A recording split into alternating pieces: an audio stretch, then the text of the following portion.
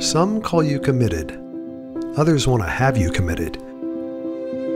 You are the dreamers, the doers, and the entrepreneurs. One thing's for sure you're not waiting around for change. Pulled by a dream or pushed by a vision, you get up early and stay up late. Your hustle, sweat, and blood transforms we should into we did.